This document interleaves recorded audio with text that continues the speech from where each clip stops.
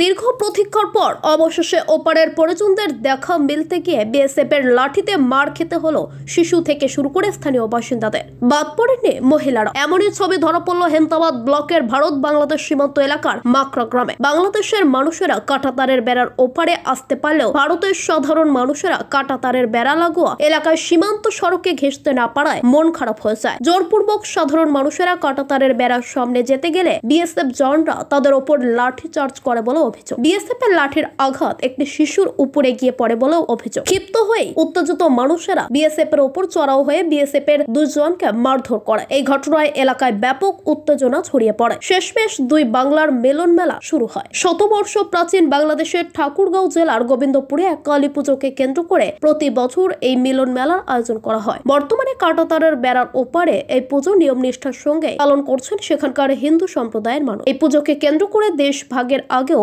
মেলা হতো এখনও মেলা হয়। বাংলাদেশের সঙ্গে সঙ্গে কাঁটাতারের বেড়ার ওপারে বসে মেলা। দেশ ভাগ হয়ে যাওয়ার ফলে কাঁটাতারের বাঁধন, ফলে বাড়ির পাশে থাকা আত্মীয় সঙ্গে সর্বক্ষণের সাক্ষাতেও বাঁধন পড়েছে। কিন্তু এই পুজোকে কেন্দ্র করে মেলার দিন নিজের আত্মীয়দের সঙ্গে সাক্ষাৎ কেউ হাতছাড়া করতে রাজি নয়। তাই তো শুধু হেমতাবাদ ব্লক নয়, দুই দিনাজপুর, বিহার এবং শিলিগুড়ি থেকেও প্রচুর লোকের সমাগম হয় হেমতাবাদ ব্লকের ভারত বাংলাদেশ সীমান্তে। ভারতের বহু জায়গা থেকে ওপারের পরিজনদের দেখার জন্য সীমান্ত এলাকায় ছুটে আসে। ওপারের পরিজনদের দেখে কান্নায় ভেঙে পড়েন এপারের পরিজনরা। খাবার থেকে শুরু করে বিভিন্ন জিনিসপত্র ছোড়াছুড়ি হয় কাটাতারের বেড়ার উপর দিয়ে। বিষয়টি কষ্টসাধ্য হলেও দৃষ্টিনন্দনও বটে। উত্তর দিনাজপুরের রায়গঞ্জ থেকে বিশেষ প্রতিনিধি রিপোর্ট, টাইমস ফরটিন বাংলা।